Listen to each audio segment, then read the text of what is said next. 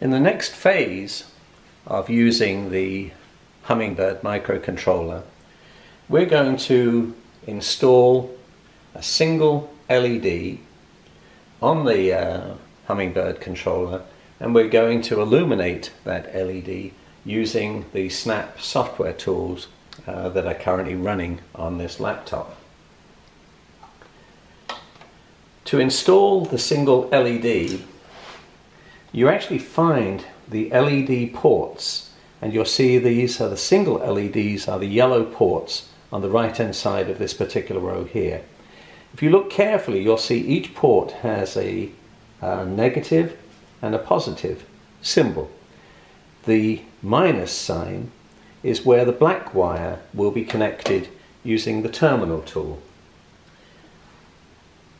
So identify the black wire push down on the little connector on the microbit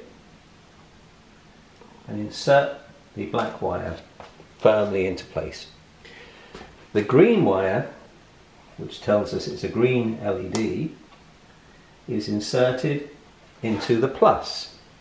And we now have the green LED installed on the Hummingbird microcontroller we're going to bring the microbit single LED controller. Uh, we'll drag that block out and it's point it does say um, LED 1 which is correct it's in in there.